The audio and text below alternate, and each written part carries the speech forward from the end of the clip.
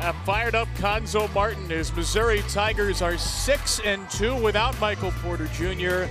A nice road win over UCF, expected to be one of the top teams in the American Conference. Kevin Brown, John Thompson, the third. Missouri trailed early, took the lead late in the first half, kept the lead the whole second half, and the Tigers get a really nice early season road win. A very good win, and I think Cuonzo realizes that, as you can see by his reaction, his celebration after the game.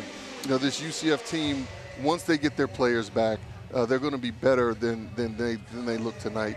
Um, but you have a Missouri squad where you have Phillips, who, in, in, spite of his line, I thought had a terrific game. And then this young man right here, Robertson, 19 points, five threes. Once he banged a couple of threes, the defense started, started to extend on him, and he's going in for layups.